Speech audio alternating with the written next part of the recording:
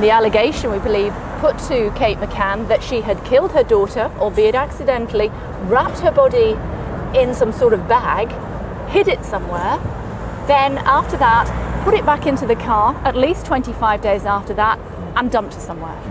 Is that what we're led to believe? That is the uh, scenario that the Portuguese police appear to have come up with based on the forensic findings and put that to her. Um, now, I've spoken to uh, yesterday uh, to the volunteer search coordinator. When Madeleine first disappeared, many uh, expats, holidaymakers, all got together and were scouring the area together with the Portuguese police. They searched the area thoroughly in an ever widening circle over those few days, and there was no sign of Madeleine's body. So, if a body had been hidden by her parents, it would have had to have been done so uh, efficiently in an area that they are unfamiliar with because, of course, they're tourists in the Algarve. They, they don't know all the various layouts of uh, the, the, the, the, area around Praia da Luz.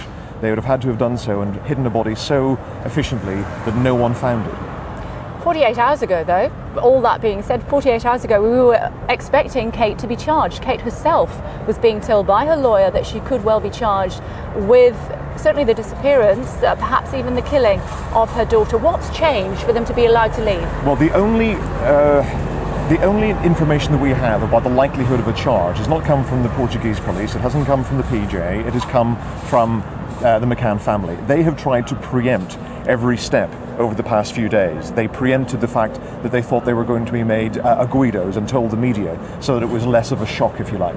They then told the media that there was a possibility that uh, Kate could be charged. Again, I think to preempt that actually happening. We don't know whether there was a likelihood that the Portuguese authorities were going to actually lay a charge against uh, either Kate McCann or Gerry McCann or both.